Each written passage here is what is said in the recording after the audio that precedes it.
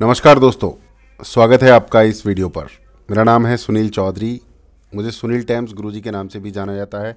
मैं हूँ एक डिजिटल सक्सेस कोच। अगर आपको डिजिटल स्किल सीखनी है, अपने बिज़नेस को ऑटोमेट करना है, Facebook ads, Google ads, search engine optimisation करना है तो आप इन सब चीज़ों के लिए मुझसे जुड़ सकते हैं, सीख सकते हैं। बट इस वीडियो में बात करने वाले हैं कुछ लोगों की, जिनके कुछ विचार बिल्कुल अलग ही होते हैं। पूरी दुनिया कहीं और जाएगी बट ये लोग कहीं और जाएँगे। और ये लोग, ऐसा नहीं है कि कमज़ोर हैं, बहुत ही शक्तिशाली लोग हैं ये। इनके दस लाख, बीस लाख, एक करोड़, दो करोड़, चार करोड़ तक फॉलोअर्स हैं यूट्यूब चैनल पे। सिर्फ़ यूट्यूब चैनल पे इतने सारे फॉलोअर्स हैं तो सोचिए कि दुनिया में ऐसे कितने ही लोग होंगे। भारत देश में जहाँ बहुत कुछ अच्छा हो रहा है, बल्कि हम कहें कि सब कुछ ही अच्छा हो रहा है, अगर देखा जाए तो। ये सोच के ऊपर डिपेंड करता है। अगर हम देखने लगें, बुरा हो रहा है तो बुरा दिखाई देगा। अगर हम देखने लगें अच्छा हो रहा है तो अच्छा दिखाई देगा। बट अगर देखा जाए, फिर भी तराजू में तोल कर तो बहुत कुछ अच्छा हो रहा है। जहाँ दस साल पहले बहुत सारे घोटाले सुनाई देते थे, हमें पिछले दस साल में बहुत कम घोटाले सुनाई दिए हैं। बिल्कुल ना के बराबर। राइट, एक ऐसी सरकार है, जो जनता के साथ जुड़ के रहती है। राइट और सबसे बड़ी बात, जो देश में बहुत बड़ी बड़ी समस्याएँ थी, जैसे धारा 370 वो हट गई। राम मंदिर नहीं बन रहा था, वो बनकर तैयार हो चुका है। बट ऐसी स्थिति में भी बहुत सारे लोग बड़े बेचैन हैं।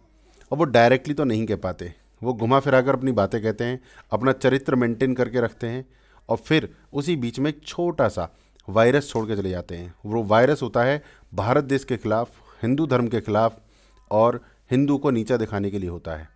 राइट right, ऐसे लोगों में कुछ लोगों के नाम तो मैं आपको यहाँ पब्लिकली बता सकता हूँ। पहला नाम है रवीश कुमार जी जो एन में वरिष्ठ पत्रकार रह चुके हैं और आजकल उनके यूट्यूब चैनल पर लाखों लाखों लाखों सब्सक्राइबर्स हैं। दूसरा नाम है संदीप माहेश्वरी जी। ये आजकल डिप्रेशन में चल रहे हैं और बहुत अच्छी अच्छी बातें कहते हैं और बीच बीच में ऐसी बातें कह देते हैं कि सामने वाला बंदा डिप्रेशन में चला जाए। ये खिलाड़ी इतने बड़े हैं कि इन्होंने खुद का सिस्टम तो बहुत बड़ा खड़ा कर लिया है। यानी ये करोड़ों रुपए कमाते हैं। लाखों रुपए दिन के कमाते हैं। यूट्यूब से या और भी बिज़नेस हो सकते हैं इनके। परंतु ये जनता को मूर्ख बनाकर रखना चाहते हैं और ऐसी ऐसी बातें करते हैं कि जनता डिप्रेशन में चली जाए या भड़क जाए। ऐसा ही एक नाम है ध्रुव राठी। बहुत, मैं इसका बहुत बड़ा फ़ैन हूँ ध्रुव राठी का। जिस तरीके से भाई कंटेंट बनाता है, जिस तरीके से भाई रिसर्च करता है, सब कुछ सही लगता है, एकदम बेहतरीन। बट भाई बीच बीच में ऐसा वायरस छोड़ जाता है, जिससे ये साफ़ सिद्ध होता है कि भाई, भारतीय जनता पार्टी का घोर विरोधी है। न्यूट्रल गियर में रहने की बात करता है बट अपने आप को रोक नहीं पाता है भारतीय जनता पार्टी का विरोध करने से। अपने आप को रोक नहीं पाता है हिंदू धर्म का विरोध करने से। अपने आप को रोक नहीं पाता है विरोधी शक्तियों का समर्थन करने से। बहुत अच्छा रिसर्च करता है, बहुत एनालिसिस करता है, सब कुछ ठीक है।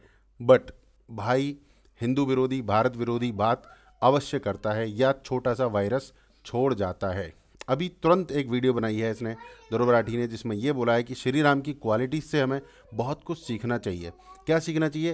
ह्यूमिलिटी सीखनी चाहिए। और भाई, इसी वीडियो में मोदी की बुराई कर रहा है, भारतीय जनता पार्टी की बुराई कर रहा है, और गोदी मीडिया की बुराई कर रहा है, और कार्यकर्ताओं की बुराई कर रहा है। जब भाई तुम श्री राम से क्वालिटीज़ सीखने की बात कर रहे हो, दूसरों को उपदेश दे रहे हो तो दो चार क्वालिटीज़ खुद भी सीख लेते। खुद भी थोड़े से हम्बल हो जाते ह्यूमिलिटी तुम भी सीख लेते, दूसरों की बुराई करने से तुम भी बच जाते। पर तुमने ऐसा नहीं किया, क्योंकि तुम एक बहुत बड़े प्रोपोगंडा पर काम कर रहे हो। वो क्या प्रोपोगंडा है मुझे नहीं पता है बट तुम्हारी नीयत है। पता चलती है क्लियरली कि तुम कुछ तो चाहते हो। भारतीय जनता पार्टी के विरुद्ध करना, हिंदू देश के विरुद्ध करना, भारत के विरुद्ध करना अब क्या है, क्या नहीं है, पत्ते खुलेंगे धीरे धीरे। पता तो चल ही जाएगा, क्योंकि तुम भी शायद इतने बड़े एक्सपर्ट नहीं हो कि पूरी तरह छुपा के रख लो इन सारी बातों को। तो दोस्तों, अगर आप यूट्यूब पर हैं और मेरी वीडियो अगर आप तक पहुँच पाती है तो इन चीज़ों को समझिए कि ये महान विभूति रवीश कुमार, संदीप माहेश्वरी, ध्रुव राठी और भी हैं बहुत सारे। पीपोए नाम मतलब बहुत सारे हैं, बहुत सारे। तो आप समझिए न्यूट्रल गियर में, किसी के भी प्रति अंधभक्त मत हो जाइए। मतलब थोड़ा सा दिमाग खुद का भी इस्तेमाल कीजिए। अपनी श्रद्धा का इस्तेमाल कीजिए। हर जगह लॉजिक नहीं लगाया जाता। विश्वास, भक्ति, शक्ति, श्रद्धा, इन चीज़ों का भी प्रयोग किया जाता है। राइट तो ये वीडियो यहीं तक थी। अगर आपको डिजिटल स्किल सीखनी है तो मेरे साथ जुड़ सकते हैं। अगर कोई दिक्कत हो आपको कमेंट्स में डाल सकते हैं। नमस्कार, जय हिंद, जय भारत।